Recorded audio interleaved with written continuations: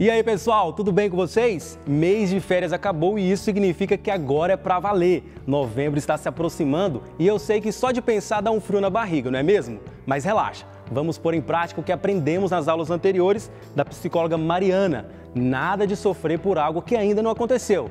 Vamos viver o hoje, ou seja, focar na preparação para o Enem, beleza?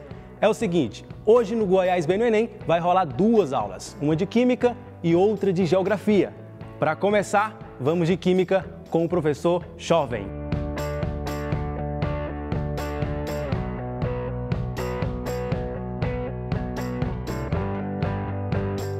Fala galera, beleza? Eu sou o professor Jovem, professor de Química, e hoje estou aqui para falar para vocês um pouquinho sobre algo que cai bastante no Enem, que é a Química Orgânica. Vamos falar mais precisamente sobre a classificação das cadeias carbônicas, tá? Então pega o seu material e já vai anotando tudo, não perde nada. As cadeias carbônicas, nessa propriedade de encadeamento do carbono, pode levar a diversas classificações que vão dar propriedades diferentes aos meus compostos. Lembrando que eu também posso classificar o carbono, grupos funcionais, N classificações dentro da orgânica. Primeiro passo ali para você abordar a classificação de uma cadeia carbônica, para você começar a definir essa classificação, é quanto ao fechamento da cadeia.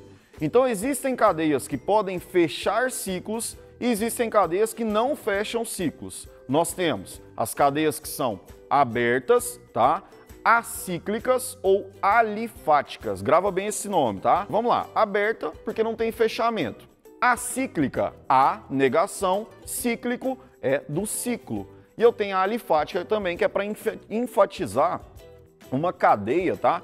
Além de ser aberta, não possui aromaticidade. Se você puder observar aí agora na tela, você está vendo que a cadeia não tem fechamento de ciclo. Essa cadeia ela tem extremidades livres. Isso é uma cadeia aberta. Agora, quanto ainda ao fechamento, nós temos as cadeias que são fechadas. Elas são chamadas de fechadas ou cíclicas. Cadeia fechada ou cíclica é a cadeia que vai apresentar um ciclo. Ela vai ter um ciclo carbônico completo é bem notória a diferença. Uma fecha ciclo, a outra não. Então essa que você está vendo na tela agora é a fechada. Observa, são ciclos. A que a gente viu anteriormente, aberta. Ela possui extremidades livres. Mas espera aí, você pode ver também na prova do Enem uma cadeia que é chamada de cadeia mista.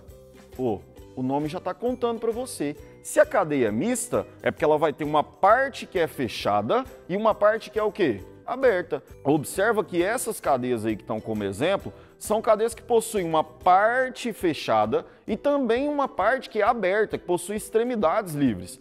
Essas cadeias nós chamamos de cadeias mistas. Agora nós podemos falar quanto à disposição dos átomos de carbono.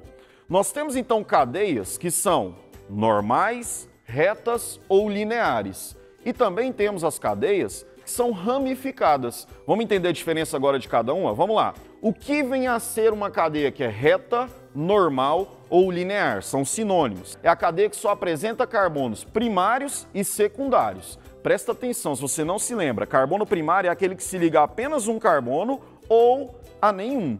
E eu tenho carbono secundário, que é o que se liga a apenas dois carbonos. Se você observar, nessas estruturas você só tem carbonos primários e secundários. Você está vendo que é uma cadeia que é reta, entre aspas, que não tem ramificação, não tem nenhum desmembramento carbônico, é como se fosse uma linha ali reta mesmo. Então, isso é uma cadeia normal. Agora, nós também temos as cadeias que são ramificadas. Cadeia ramificada deve possuir pelo menos um carbono terciário ou pelo menos um carbono quaternário. Professor, pode ter um terciário e um quaternário? Pode, tem que ter pelo menos um terciário ou um quaternário. Terciário é o carbono que se liga a apenas três carbonos. Quaternário é o carbono que se liga a quatro carbonos. Se você observar, tá vendo que agora eu tenho ramificações, eu tenho desmembramentos na cadeia? Isso, pessoal, são carbonos terciários e quaternários que estão promovendo esse desmembramento, são as ramificações da cadeia.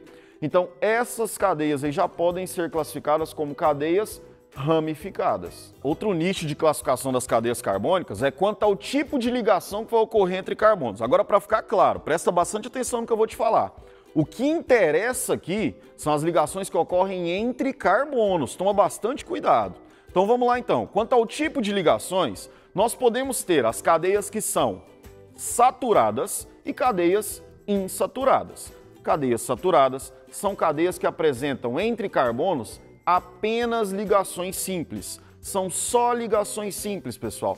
Isso é uma cadeia saturada. Se você observar aí na tela, nós temos uma cadeia que é saturada. Ela só apresenta ligações simples entre carbonos. Agora presta atenção, se você observar, tem uma ligação dupla entre um carbono e um oxigênio. Lembra que eu te falei no início da aula? Essa ligação não me interessa para essa classificação. Ela está acontecendo entre carbonos? Não. Se ela não acontece entre carbonos, então eu não posso classificar essa cadeia como cadeia insaturada, no caso. Ela é uma cadeia saturada. Entre carbonos eu só tenho ligações simples. E o que, que vem a ser uma cadeia insaturada? Cadeia insaturada ela vai ter que apresentar pelo menos uma ligação dupla ou uma ligação tripla. Volta a repetir, professor, mas e se aparecer uma dupla, duas duplas, uma dupla e uma tripla? Não interessa, apresentou pelo menos uma insaturação, que é a dupla ou tripla, entre carbonos, eu classifico ela como heterogênea.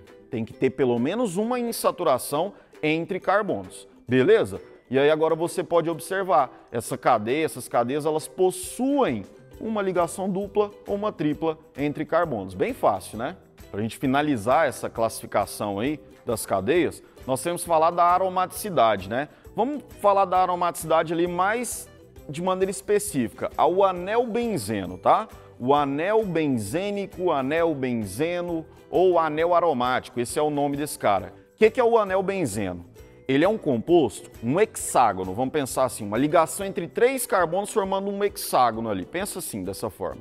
E aí você vai ter ligações entre esses carbonos, sendo que são três ligações duplas que são alternadas. Então, uma dupla, uma simples, uma dupla, uma simples, uma dupla, uma simples.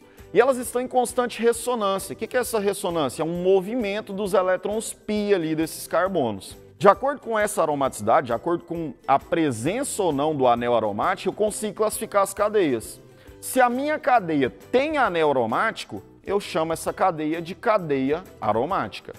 Já se a minha cadeia não tem anel aromático, eu a chamo de cadeia não aromática. Simples assim.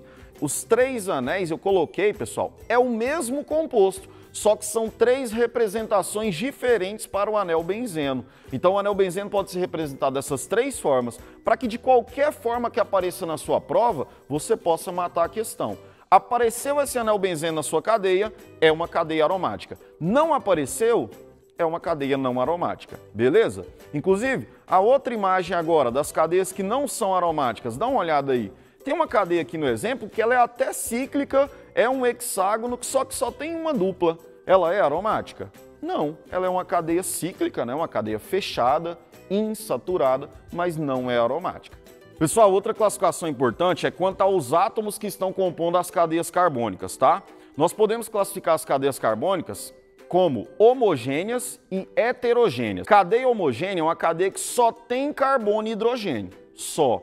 Isso, pessoal, é uma cadeia homogênea. Ela não apresenta um heteroátomo interrompendo a ligação entre carbonos. Aí você fala, professor, o que é um heteroátomo? Heteroátomo é um átomo diferente de carbono e hidrogênio que vai estar tá ali interrompendo a ligação entre dois carbonos. Se interrompe a ligação entre dois carbonos, é um heteroátomo. Nós temos também as cadeias que são heterogêneas. Simples, né? Agora ficou fácil, igual morder água. Você já sabe que a homogênea não tem heteroátomo. E a heterogênea? Tem heteroátomo. Agora você vai ter a presença de um átomo diferente de carbono e hidrogênio, interrompendo a ligação entre esses dois carbonos, tá?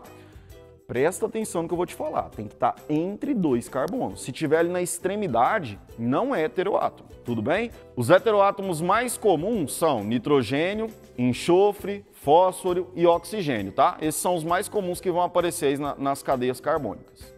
Pessoal, então presta atenção que agora a gente vai resolver uma questãozinha do Enem bem simples, bem rápida, só para você ver como é que cai, é bem simples mesmo, tá? Questão do Enem de 2012 está falando assim, ó, motores a combustão interna apresentam melhor rendimento quando podem ser adotados taxas de compressão mais altas nas suas câmaras de combustão, sem que o combustível sofra ignição espontânea. Combustíveis com maiores índices de resistência à compressão, ou seja, maior octanagem, estão associados a compostos com cadeias carbônicas menores, com maior número de ramificações e com ramificações mais afastadas das extremidades da cadeia. Adota-se como valor padrão de 100% de octanagem o isômero do octano, mais resistente à compressão. Com base nas informações do texto, qual dentre os isômeros seguintes seria esse composto? Letra A, N-octano, letra B, 2,4 dimetilhexano, letra C, 2-metilheptano, letra D, 2,5 dimetilhexano e letra E, 2,2,4 trimetilpentano. Bom, pessoal, questão bem simples. Se você notar, a chave da questão está no número de ramificações. O texto foi claro e te disse que quanto maior o número de ramificações, maior vai ser a octanagem desse combustível. E nas nossas alternativas nós podemos perceber que a letra E é a que possui mais ramificações. Você nota pelo início lá da, do nome da cadeia esses no, números aí, ó, 2,2,4 trimetil, tá te falando que tem um metil no carbono 2, tem outro metil no 2 e mais um no 4. Então nós temos três metis. De todas as nossas alternativas, é a que tem o um maior número de ramificações, portanto é a que tem uma maior octanagem, então essa é a alternativa correta. Bom, pessoal, eu vou ficando por aqui. Muito obrigado pela sua atenção. Espero que eu possa ter te ajudado pelo menos um pouquinho, né? E fica ligado que vai vir muita aulinha boa aí no Goiás Bem no Enem. Valeu e até a próxima. Valeu, professor, pela maravilhosa aula. Moçada, no próximo bloco tem Geografia aqui no Goiás Bem no Enem. O professor Douglas Santiago vai abordar os temas de capitalismo e globalização. Você não vai perder, né? É daqui a pouco.